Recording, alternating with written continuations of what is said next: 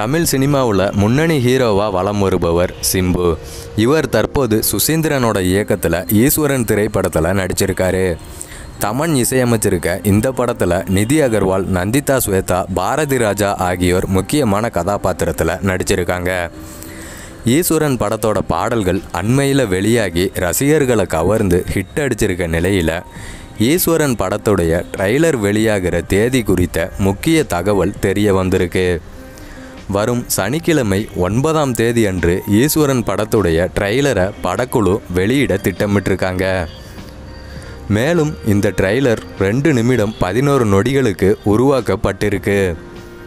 பொங்கலுக்கு வெளியாக இருக்க ஈஸ்வரன் படத்தின் மீது எதிர்பார்ப்பை எகிர வைக்கும் அளவுக்கு இந்த ட்ரைலர் உருவாகி இருப்பதா சொல்லப்படுது. கன்னடத்தில் சிவராஜ்குமார் ஸ்ரீமுரளி ஆகியோர் நடித்து மிகப்பெரிய வெற்றி பெற்ற படம் மஃப்டி. இந்த படத்தை தமிழில் பத்து தலை அப்படிங்கிற பெயரில் ரீமேக் பண்ணிகிட்ருக்காங்க இருக்காங்க சிம்பு கௌதம் கார்த்திக் முதன்மை கதாபாத்திரத்தில் நடிக்கிற இந்த படத்தை சில்லுன்னு ஒரு காதல் நெடுஞ்சாலை போன்ற படங்களை இயக்கிய ஓபிலி என் கிருஷ்ணா தான் இயக்க இருக்காரு.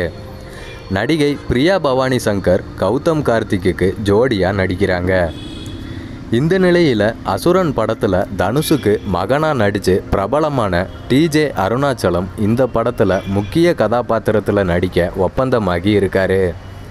தனக்கு பிடிச்ச நைன்டிஸ் ஹீரோக்களில் சிம்புவும் ஒருவர்னு தெரிவிச்சிருக்க டிஜே அவர் கூட பணியாற்றணும் அப்படிங்கிற ஆசை இருந்ததாகவும் தற்போது அந்த ஆசை நிறைவேறி இருப்பது மகிழ்ச்சி அளிப்பதாகவும் டிஜே சொல்லியிருக்காரு. தற்போது டிஜே லண்டனில் இருக்காரு.